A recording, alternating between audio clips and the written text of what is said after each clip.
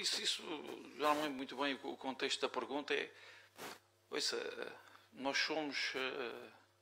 cada um de nós tem, tem, tem várias opiniões daquilo que vai, que vai vivendo e vai sentindo. Eh, quem está de um lado de fora, vai, às vezes eh, em forma de, de, de, exemplo, vai vendo fotografias daquilo que se vai passando. E, e o treinador, independentemente de ser eu ou outra pessoa qualquer, quando cá está, ou um treinador de qualquer, de qualquer clube,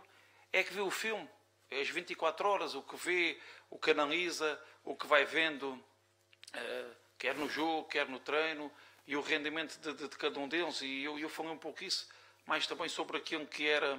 Uh, uma outra crítica que eu não acho que foi, foi que não é tão justa relativamente àquilo que foi o que tem sido uh, o nosso o nosso percurso. Por isso foi nesse foi nesse sentido, não é não é de, uma forma arrogante e preponderante estar a dizer que sou, que sou o treinador. Eu acho é que desse lado as análises são uh, muito um, eh, faz muito em função daquilo que se vai que se vai vendo nos jogos, é verdade, uh, mas são pequenas fotografias nós treinadores, não falo só por mim, acho que falo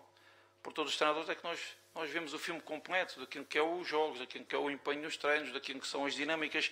que se criam em determinados jogadores, eh, problemas que nós vamos ter no jogo, vamos tentando corrigir, às vezes são soluções que nós também temos e temos a mesma opinião de ir ao encontro de uma outra solução que também